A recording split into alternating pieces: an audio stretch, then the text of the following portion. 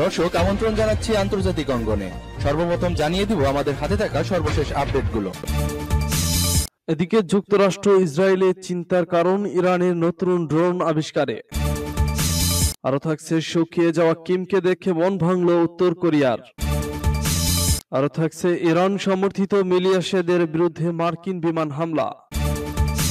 হংকংয়ের মেরিনায় ভয়াবহ অগ্নিকাণ্ড ডুবে গেছে দশটি জাহাজ। তিপ্পান্ন দিন ধরে ইসরায়েলি জেলে অনশন করছেন আবু আতওয়ান। সর্বশেষ জানিয়ে দেব, কাশ্মীরে বাড়িতে হামলা নিহত অফিসার ও স্ত্রী আহত মেয়ে। শুনছিলেন সংবাদ, শিরোনাম এখন বিস্তারিত। তবে তার আগে অনুরোধ থাকবে, ভিডিওটিতে একটি লাইক দিবেন এবং কমেন্টস করে জানিয়ে দিবেন কে কোথা থেকে বা কোন জেলা থেকে আমাদের সাথে সংযুক্ত রয়েছেন। যুক্তরাষ্ট্র ইসরায়েলের চিন্তার কারণ ইরানের নতুন ড্রোন নিজস্ব প্রযুক্তিতে দীর্ঘ সাত হাজার কিলোমিটার দূরে আঘাত হানার মতো বিধ্বংসী ড্রোন তৈরি করেছে ইরান। দেশটির ইসলামিক রিভলিউশনারি গার্ডের প্রধান জেনারেল হোসেন সালামি বিষয়টি নিশ্চিত করেছেন। এমন মনুষ্যবিহীন আকাশ, যান বা ড্রোন অনেকগুলো থাকার কথা জানিয়ে তিনি বলেন, এগুলো পরিকল্পনা অনুযায়ী উঠতে এবং যে কোনো জায়গায় অবতরণ করতে পারে। সেই সঙ্গে নির্দিষ্ট লক্ষ্য বস্তুতে সফলভাবে হামলা করে ফিরেও আসতে সক্ষম। ইরানের রাষ্ট্রায়ত্ত গণমাধ্যমের বরাত দিয়ে আজ রোববার এমন খবর দিয়েছে বার্তা সংস্থা রয়টার্স। তাতে বলা হয়, মধ্যপ্রাচ্য সবচেয়ে বড় শত্রু ইরানের এই সক্ষমতাকে হুমকি হিসেবে দেখছে যুক্তরাষ্ট্র। ওয়াশিংটন বলছে, তেহরানের এই ড্রোন গোটা মধ্যপ্রাচ্যের নিরাপত্তার জন্য বড় হুমকি হয়ে দাঁড়িয়েছে। ইরানের প্রধান শত্রু ইসরায়েলের কাছ থেকে এখনও পর্যন্ত প্রতিক্রিয়া না এলেও এই ড্রোন তাদের জন্য হুমকি তৈরি করেছে। তাছাড়া ওই অঞ্চলে তেহরানের আরেকটি প্রতিদ্বন্দ্বী সৌদি আরবের জন্য এটি চিন্তার কারণ হয়ে দাঁড়িয়েছে। রয়টার্স বলছে, ইরানের সামরিক বাহিনী এবং তাদের মদতপুষ্ট অন্যান্য দেশের মিলিশিয়া বাহিনীগুলো এসব ড্রোনের উপর নির্ভরশীল। এই নির্ভরতা দিনকে দিন ক্রমবর্ধমান হারে বাড়ছে। এমন সময় এই ড্রোনের খবর প্রকাশ করা হলো যখন পরমাণু সমঝোতায় ফেরা নিয়ে ইরানের সঙ্গে আলোচনা করছে যুক্তরাষ্ট্র সহ পশ্চিমারা। এ নিয়ে উভয় পক্ষের মধ্যে নতুন করে দর কষাকষি চলার কথা জানিয়েছে আন্তর্জাতিক গণমাধ্যমগুলো। ইউরোপীয় ইউনিয়নের মধ্যস্থতায় দীর্ঘ আলোচনার পর দুই সালে ইরানের সঙ্গে পরমাণু চুক্তি সই করে ছয় জাতি গোষ্ঠী। এতে তেহরানের উপর আরোপিত নিষেধাজ্ঞা প্রত্যাহারের প্রতিশ্রুতি দেওয়া হয়, যা আজ অবধি পূরণ না করার অভিযোগ রয়েছে। উল্টো সাবেক মার্কিন প্রেসিডেন্ট বারাক ওবামার সময় হওয়া চুক্তিটি থেকে দুই হাজার আঠারো সালে বেরিয়ে যায় ওয়াশিংটন। চুক্তি ছেড়ে তেহরানের ওপর ফের দফায় দফায় নিষেধাজ্ঞা চাপিয়ে দেন ওবামার উত্তরসূরি সাবেক মার্কিন প্রেসিডেন্ট ডোনাল্ড ট্রাম্প। দেশটির নতুন প্রেসিডেন্ট জো বাইডেন তার দেশকে আবারও চুক্তিতে ফেরানোর প্রতিশ্রুতি দিয়েছিলেন নির্বাচনের সময়। এর অংশ হিসেবে সব পক্ষের মধ্যে গত এপ্রিল থেকে আলোচনা চলছে অস্ট্রিয়ার রাজধানী ভিয়েনায়।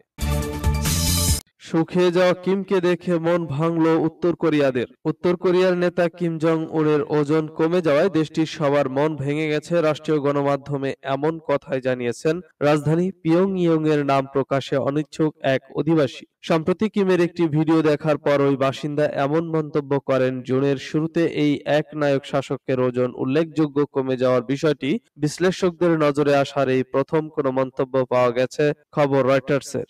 দীর্ঘ কয়েক মাস জনসক্ষমে না আসার পর উত্তর কোরিয়ার সরকারি সংবাদ মাধ্যমে দেখা যায় কিমকে। সেই ফুটেজে দেখা যায় উত্তর কোরিয়ার শাসক দলের কেন্দ্রীয় কমিটির প্লেনারি সেশন থেকে দেখছেন তিনি। তা দেখেই মন ভেঙে গেছে উত্তর কোরিয়াবাসীর। উত্তর কোরিয়ার বিশেষজ্ঞরা জানিয়েছেন, খুঁটিয়ে দেখলে বোঝা যাবে যে কিম কিছুটা শুকনো হয়েছেন। মুখ কিছুটা রোগা লাগছিল, এমনিতে ফুট আট ইঞ্চির কিমের ওজন একশো কিলোগ্রাম।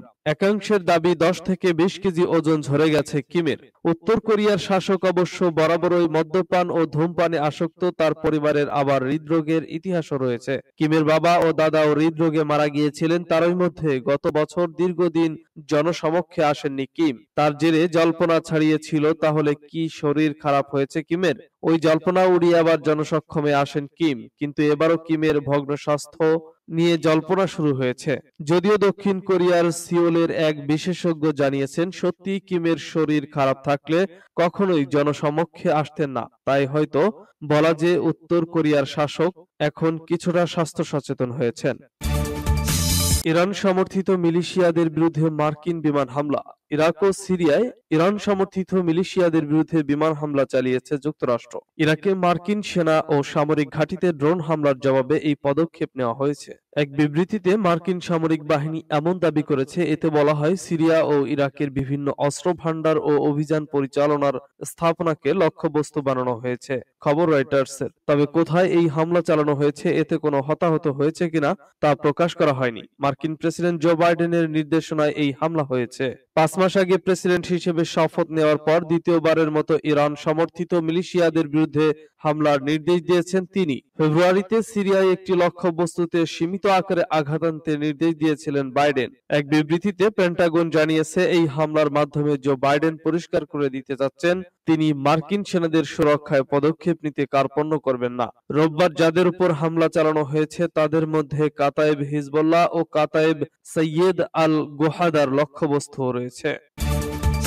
তিপ্পান্ন দিন ধরে ইসরায়েলি জেলে অনশন করেছেন আবু আতোয়ান ইসরায়েলি জেলে তিপ্পান্ন দিনের অনশনে আছেন ফিলিস্তিনি গাদান ফার আবু আতোয়ান বেআইনিভাবে আটক করার প্রতিবাদে তিনি এই কর্মসূচি পালন করেছেন। ফিলিস্তিনের প্রিজনার কমিশন এমনটাই জানিয়েছেন।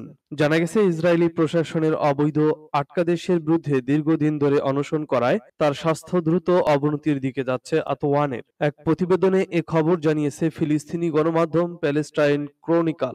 দুদিন আগে ইসরায়েলের হাইকোর্ট জানিয়েছে, অনশন করা বন্ধ করলে আবু আতোয়ানের প্রশাসনিক আটকাদেশ স্থগিত করা হবে। কিন্তু আবু আতোয়ান দাবি করেছেন প্রশাসনিক আটকাদেশ স্থগিত করার বদলে তাকে বেগসুর খালাস দেওয়া হোক।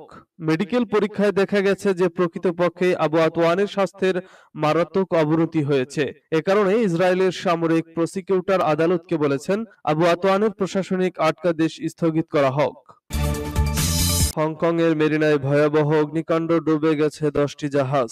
ভয়াবহ অগ্নিকাণ্ডের ঘটনা ঘটেছে হংকং এর মেরিনায়। এতে ঘনিষ্ঠভাবে মোড়কযুক্ত ক্যাবিন ক্রুজারগুলোর একটি লাইনের পাশ দিয়ে যাওয়ার সময় জ্বালানি ট্যাঙ্কগুলোতে আগুন ধরে দশটি ক্যাবিন ক্রুজার জাহাজ ডুবে গেছে।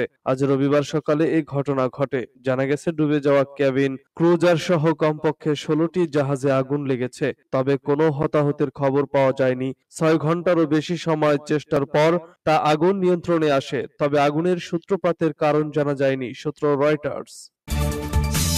কাশ্মীরে বাড়িতে হামলা, নিহত অফিসার ও স্ত্রী আহত মেয়ে। শনিবার মধ্যরাতে জম্মুতে ভারতীয় বিমান বাহিনী স্টেশনে ড্রোনের সাহায্যে বিমান হামলা চালানো হয়েছিল।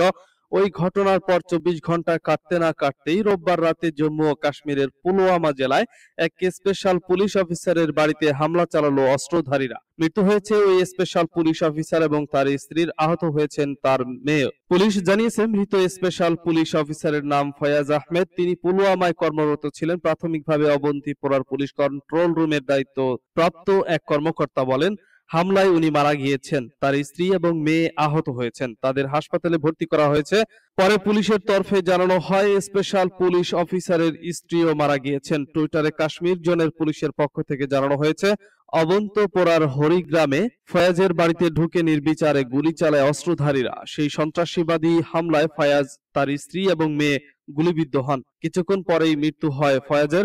পরে হাসপাতালে মারা যান স্পেশাল পুলিশ অফিসারের স্ত্রী। আপাতত পুরো এলাকা ঘিরে রাখা হয়েছে।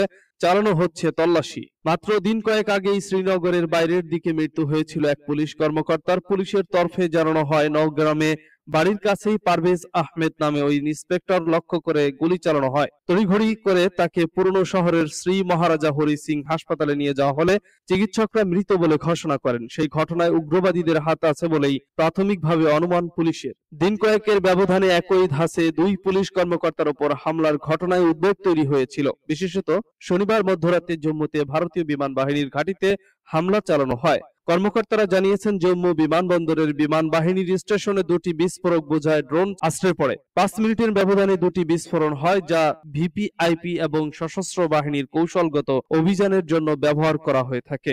জোড়া বিস্ফোরণে আহত হন দুজন বিমানবাহী কর্মকর্তা।